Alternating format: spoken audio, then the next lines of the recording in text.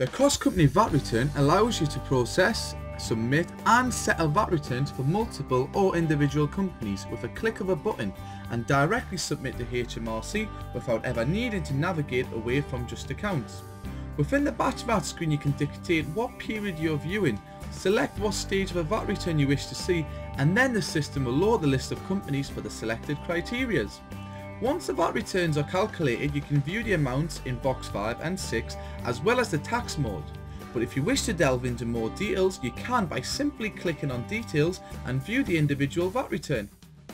Within the individual VAT return screen you can select and view in detail what transactions are being used to calculate the return. When you are happy with the figures you can progress to the submission stage at which you can select individual companies or select all. Next you can submit up to 300 returns directly to HMRC using individual or agent credentials. Just Accounts will then provide a submission receipt per company for your ease of mind. A real-time status column will let you know whether you have been successful and if not, don't you worry. We will do everything we can to let you know what went wrong. Finally, similar to submission, you can settle the VAT returns for multiple companies in one go, or if you prefer, you can settle individually as well. This will complete the transaction postings and keep your books up to date. Thank you for your time.